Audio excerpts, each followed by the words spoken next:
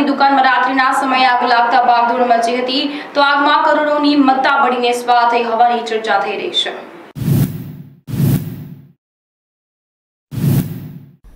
Ring રોડના Ashoka tower માર્કેટમાં ચોથા માળે કાપડની દુકાનમાં બુધવારે રાતે અચાનક આગ ભૂકી ઉઠી હતી. વેપારી દુકાન બંધ કરવાની તૈયારી કરી રહ્યા હતા, ત્યારે અચાનક આગ ભૂકી ઉઠી હતી. આગ લાગી હોવાની જાણ થતાં વેપારીઓમાં ભાગદોડ મચી ગઈ હતી.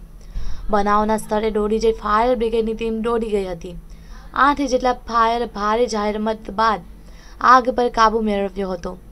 સદનસીબે આગની આ ઘટનામાં કોઈને ઈજા કે જાનહાનિ ન થઈ હતી.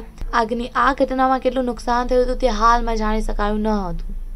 અરવિંદ રાઠોડ સાથે એનએસ ગુજરાત ન્યૂઝ સુરત.